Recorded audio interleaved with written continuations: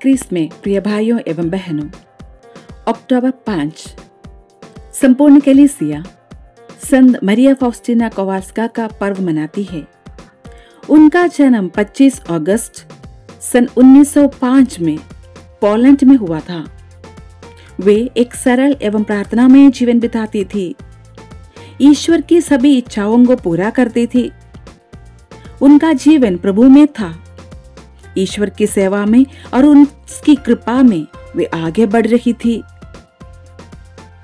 20 साल की आयु में उन्होंने करुणा की माँ मरियम की, धर्म बहनों के धर्म संघ में प्रवेश किया। उन्होंने 5 अक्टूबर सन 1938 की अपनी मृत्यु तक अपने तेरह साल का धर्म संघीय जीवन बिताया। प्रभु यीशु ने कई बार संत फाउस्टीना को दिव्य दर्शन दिया और उन्हें ईश्वरीय करुणा की शिक्षा प्रदान की। ईश्वरीय करुणा पर भरोसा रखकर, पाप स्वीकार कर, परम प्रसाद ग्रहण करने वालों को पापों की क्षमा तथा सभी पाप दंड से मुक्ति प्राप्त होती है। संत फौस्टीना का कहना है कि यीशु ने ही उन्हें करुणा की माला बिनती की प्रार्थनाएँ सिखाई।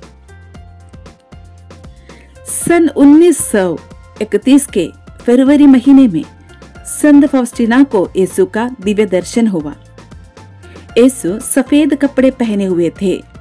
उनका एक हाथ आशीष देने के लिए उठा हुआ था और दूसरा हाथ छाती पर रखा हुआ था, जहाँ से दो प्रकार की किरणें निकल रही थी, लाल और सफ़ेद रंग की किरणें।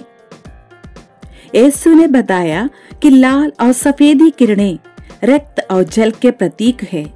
जो भाले से उनके हृदय को छेदित किए जाने पर बहाये थे।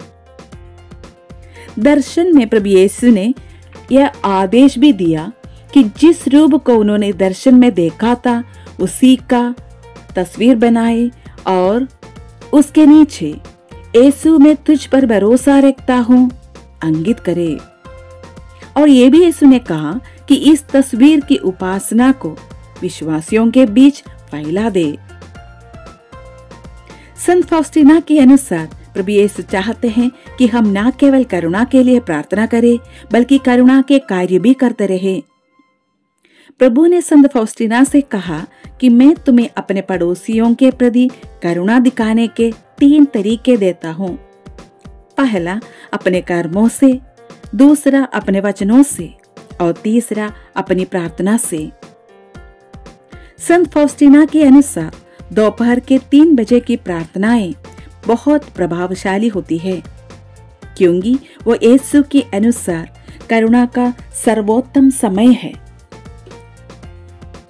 सन उन्नीस सौ तिरानवे में संत पापा जॉन पॉल द्वितीय ने फौस्टीना को धन्य और सन 2000 वर्ष में संत घोषित किया। आइए हम भी संत फाउस्टिना के मध्यस्थता लेकर प्रार्थना करें। आमेन।